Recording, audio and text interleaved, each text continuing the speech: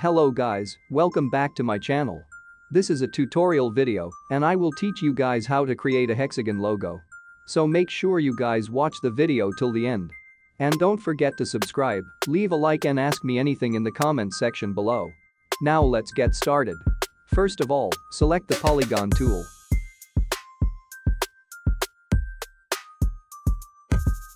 Then left click on the artboard. Enter 300 pixels in radius box and make 6 sides of the polygon. Then click OK. Remove the fill of the polygon. Now, increase the stroke of the polygon by 50 points.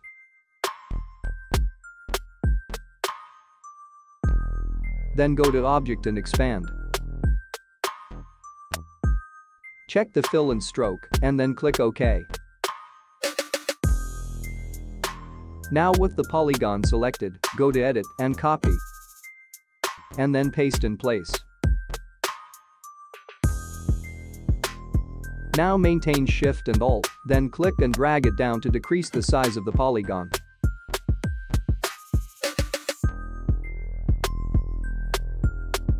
Now select the rectangle tool. Create a rectangle from the top anchor point of the bigger polygon to the bottom anchor point of the smaller polygon.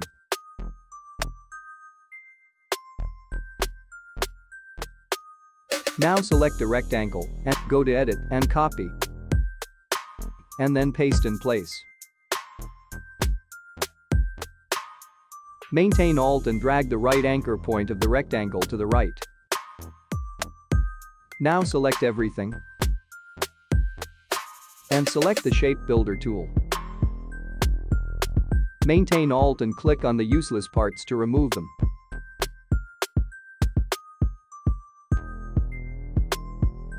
Click on all the unnecessary parts.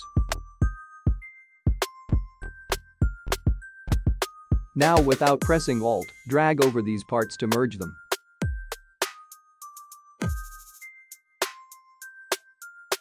OK, now select the line segment tool.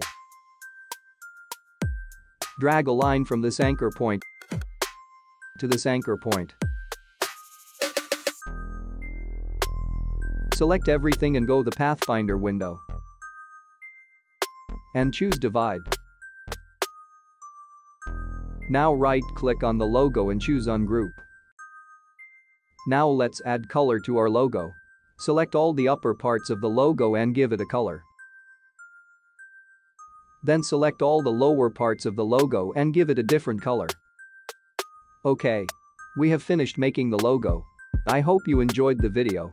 Don't forget to check my channel for tutorials in speed arts. Thank you for watching. Okay bye, see you in another video.